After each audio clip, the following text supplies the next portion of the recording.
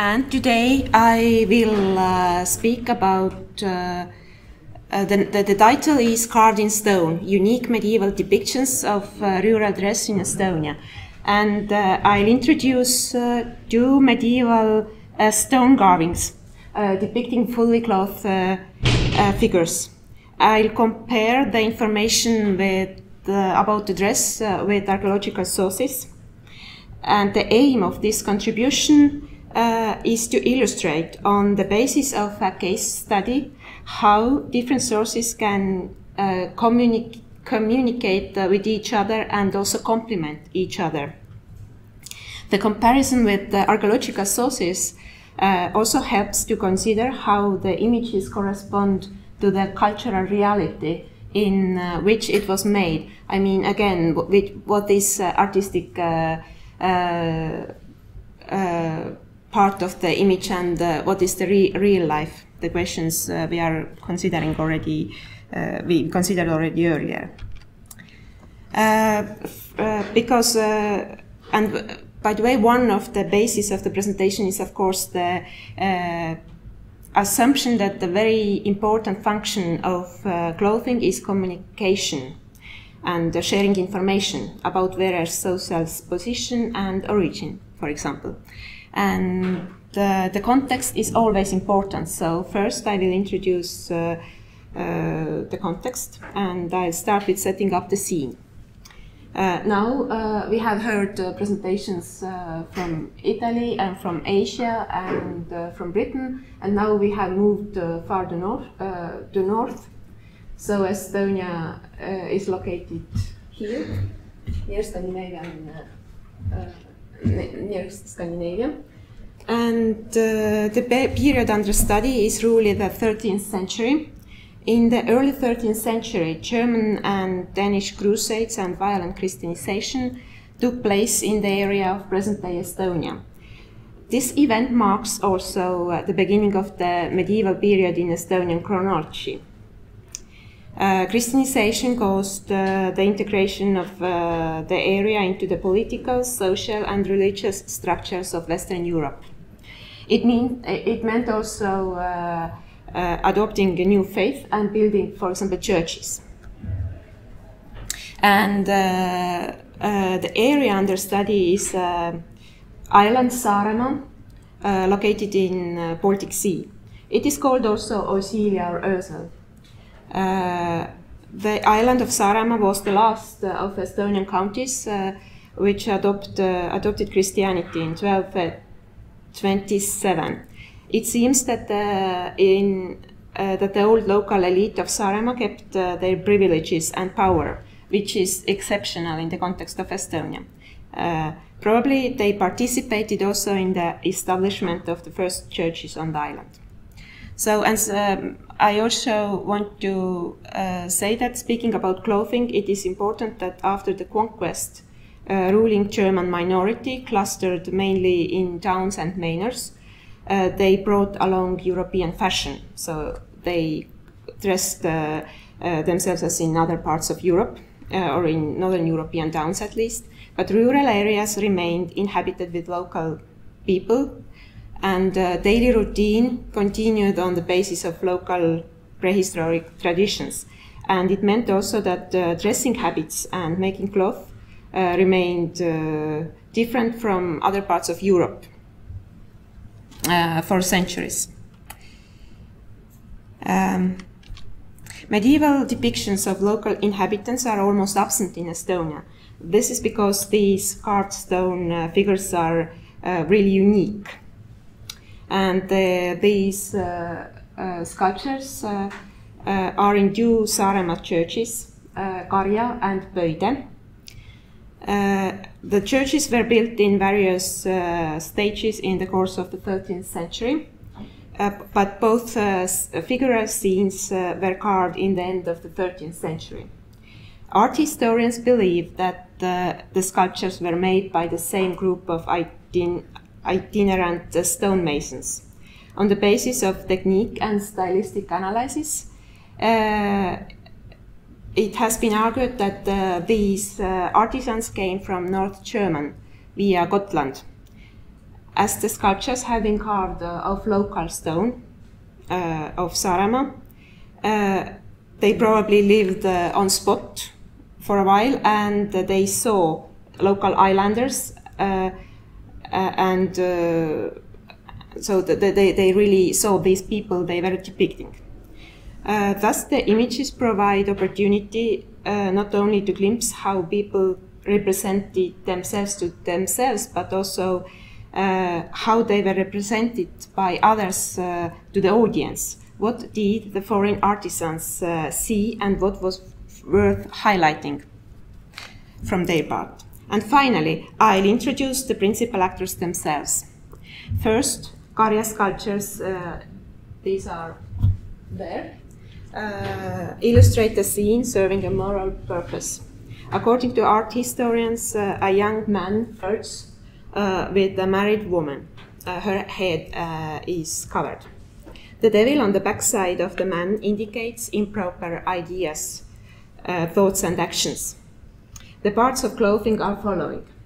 The woman's head is covered with a headscarf. Uh, the, her shawl is fastened with a penannular brooch on the chest below, uh, you can see a decorated uh, apron hem. The man wears a hat and a shawl fastened with the also with penannular brooch uh, on the right shoulder in this time. Uh, has curly surface, so uh, it can uh, indicate uh, that uh, it has been made of sheepskin. And now, secondly, uh, This is actually the same uh, uh, sculpture, but this is the woman and this is uh, the male figure. They just, I didn't have a photo where they were both on at the same time. Um, uh, Pöide, uh, this is a very representative couple standing. The lady is very similar to the Karja sculpture. She's uh, also wearing a shawl fastened with a brooch on the chest and a decorated apron. Unfortunately, the headdress area is damaged and not entirely visible. But it's definite, it's definite that her head is covered with something more complex than Karja Lady. Karja Lady had only the uh, scarf. She's holding a drinking horn, which may be interpreted as a symbol of power. The man is wearing also a hat but other, otherwise he differs from previous uh, male figure. And especially note, noteworthy is uh, his coat. I don't know how well it's visible here, but the, the front opening is V-shaped. Uh, it has pleated front parts and the sleeves uh, fitted nicely around the arms, gradually uh, narrowing towards the wrist. A similar cut has been used, uh, for example, in contemporaneous uh, Scandinavia. Uh, so it's not actually a peculiar local fashion that uh, art historians have always uh, stressed by these figures. And this is not uh, surprising because uh, Island and Scandinavia has really tight context, contacts already long time.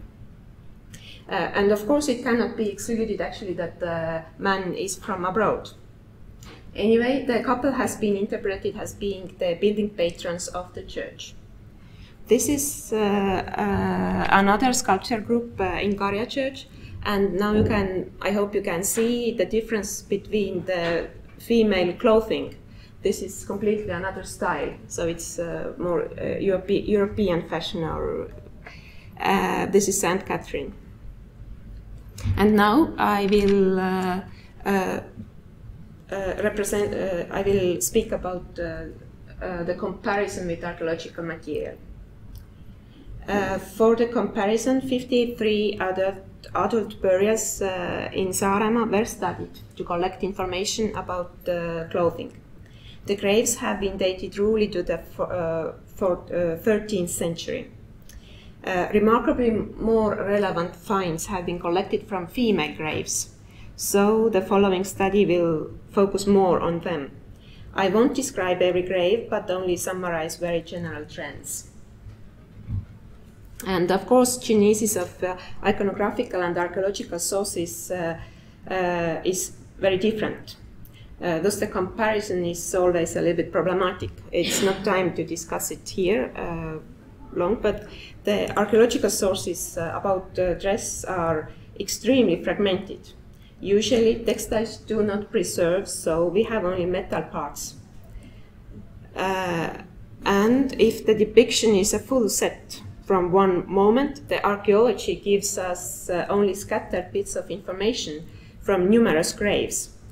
At the same time, uh, next slide already, at the same time, it reveals the variation in the costume. For example, decorative pins, uh, dress pins, and penannular brooches, often together with chain arrangements, and belts with various hangings were used for fastening clothing items at the period it seems that uh, these elements uh, have been combined uh, freely in various ways. For example, sometimes the chains were fastened with pins on the shoulders, sometimes with brooches, and sometimes you can find one brooch and one pin in the grave. Occasionally, also just one brooch was discovered on the chest. This is the most right figure. It means that in the similar, it was in the similar position as depicted uh, on the carvings. Uh, important source uh, uh for clothing uh, in this case uh, is decorations made of tiny spiral tubes wound of copper alloy wire. these ornaments were widely used to adorn clothing items in the East Baltic uh, already in the prehistory, but also at the at the beginning of the Middle Ages, in according to Estonian chronology. And uh, of course, uh, uh the graves reveal uh, us traces about funeral dress, which is uh, a special occasion, and it's not about clothing that people wore during their daily life or when they uh, were alive. And uh, it has been assumed in Estonia, at least on the basis of grave finds, that uh, it's, it's probably a festive attire. maybe it's not Christian tradition yet, so it's a festive attire, and maybe it is at least part related with wedding costumes. Anyway, it has a special meaning and a special context. In the context of present study, study uh, two details of the costumes are worth pointing out. Uh, first, it seems that penannular brooches uh, caught uh, the eyes of the foreigners who carved the sculptures. Uh, by the 13th century, the penannular brooches were disappeared in North Europe, but in Estonia this type lasted until 17th century. Noteworthy is the clear ridge in the middle part of the brooches, worn by Karja man actually, and also a Pöide uh, woman. Sorry, the pictures are quite. Uh, I didn't have so good pictures to zoom really nicely in. And um, uh, and similar brooches have been sometimes also uh, found in archaeological excavations in graves, but they are not very uh, numerous. Only uh, rarely uh, the the ridge is there, and this it's noteworthy because uh, the carvings are relatively schematic, but this tiny detail has stressed again. And another distinctive feature is the apron. The decorated lower hems are in both cases clearly visible. You can see them here. Uh, and on the basis of grave finds, an apron adorned with spiral tube decorations belonged to the costume of a married woman here and there in East Baltic uh, and in Finland, for example. In Saaremaa, such spiral tube decorations on the shin bones have been discovered as well. Uh, you can see two pictures here it is quite clear that the details of the spiral decorations were not familiar to the stone carver because uh, the artisan has uh, actually depicted on that apron. I don't know how well you can see, but the, uh, uh, the artisan probably depicted the closest metal thing, uh, uh orna, orna, uh, decoration thing he knew. The, the, this apron decoration re resembles more metal mounts used, for example, on belts. So, it, but it's quite clear that it is uh, parallel to these uh, spiral tube decorations, actually, these metal, metal decorations that we have found from gra graves. Uh, headdress and shawls uh, are also emphasized, but uh, no exact parallels can be pointed out among archaeological finds, mainly because uh, of the preservation issues. Uh, nevertheless, some finds indicating uh, presence of these accessories have been discovered. For example, uh, one uh, headdress uh, decorated with spiral tubes, and in one case, probably spiral tubes are indicating something similar to the shawl. It, it, it, may interpret as, a, as a remains of a shawl. And now some comments about male uh, costume. Uh, there is almost no information about uh, male dress on the basis of grave finds. And because of uh, that is uh, not much, uh, it, it, I, I can't compare these things. Usually only remains of belts along with items worn hanging from the waist have been discovered. It is possible to make only two remarks. First, Karjaman is using a brooch to fasten his cloak on the right shoulder, this figure uh, up, up there. And um, in the 13th century, no such brooches were found in the male graves anymore. But the, the earlier cremation, uh, cremations from the 1st century contained often uh, this kind of brooches. So maybe this figure is depicted in the old fashioned way or of course maybe it wasn't common to use uh, a brooch and a shawl in the uh, uh, by the funeral clothing. Uh, secondly, man wears something hanging from the waist. It's not possible to uh, understand what is the exact shape of the item, uh, but it might be a leather purse together with necessary utensils. Moreover, uh, he is not using brooch, so uh, he fits well together with the grave finds. And to conclude, uh, iconographic and archaeological sources fit relatively well, to, uh, well, together. They help to create a more elaborated uh, context for both sources, and uh, they also uh, complement our knowledge about past uh, clothing in general. Uh, the comparison with archaeological finds uh, further proves that the aim of the stone carvers uh, was to depict locals. It is interesting to note uh, how they have chosen details to achieve this purpose in the way that is recognizable. It was recognizable probably also to the audience. Moreover, it is a good example for illustrating uh, clothing as a medium to express identity, social status, and origin. And what, what is interesting uh, for me, especially, is, uh, for example, local female dress with uh, its peculiar traits shawl, brooch, apron, and probably also a headdress. Um, has definitely caught the, the foreigner's eyes and uh, the roots of this uh, kind of costume are in the previous century, in the 12th century already. So it, it shows that the female uh, uh dress was uh, somehow traditional and static. Uh, and the, the, it, it's probably uh, meaningful attire, uh, maybe indicating the marital status of, uh, of the woman.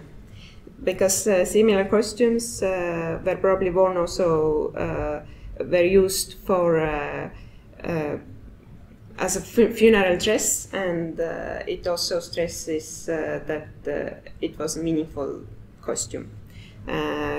Uh, and it was probably important in woman's life and uh, expressed the, the, her identity in the community. At the same time, it seems that the, the male dress was more um, open uh, to the uh, uh, foreign influences, and uh, male were more wearing. Um, Uh, maybe moving around and uh, having influences from, from abroad. So, thank you very much.